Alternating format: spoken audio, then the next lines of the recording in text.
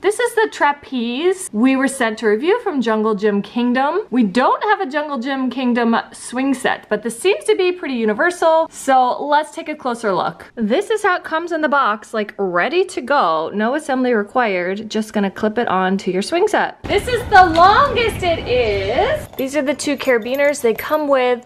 You can unscrew this and then attach this lower on the chain to adjust the height and then this is gonna attach to your swing set. Down here, closer to the child, these are all coated in plastic, really nice, not grippy, just a plastic kind of coating. Really nice quality, so much fun. A great addition to your swing set. If you have a swing, slide, monkey bars, but no trapeze, this is a great addition. Pretty universal fit for any swing set. We are loving it and know you will too.